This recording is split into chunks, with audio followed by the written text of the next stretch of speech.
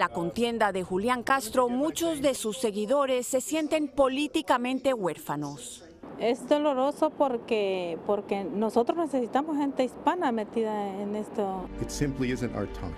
En este tuit con un video de su campaña, Castro le dice a sus partidarios que simplemente no es su tiempo, pero que está muy orgulloso de todo lo que lograron juntos y promete seguir luchando por un país en que todos cuenten. Yo quiero una reforma migratoria. Además de tener el plan migratorio más detallado, Castro se viajó el país escuchando los problemas de comunidades olvidadas. y nos falta el permiso de trabajar.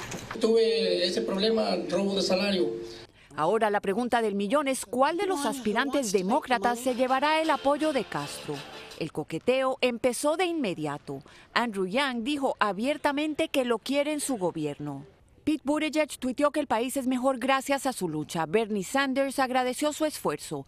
Joe Biden dijo que fue un privilegio haber servido con él en el gobierno Obama. Y Elizabeth Warren que Castro seguirá siendo líder en el Partido Demócrata.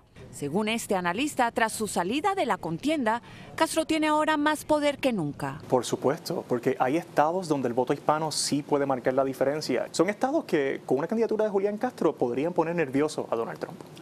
Sus causas y las ilusiones de sus seguidores seguirán vigentes en la contienda presidencial. Su plan migratorio era uno de los que le hablaba más a la comunidad inmigrante y más a los soñadores como yo.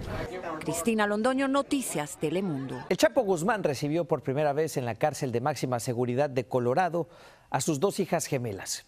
En entrevista exclusiva con Telemundo, su abogada dijo que esta visita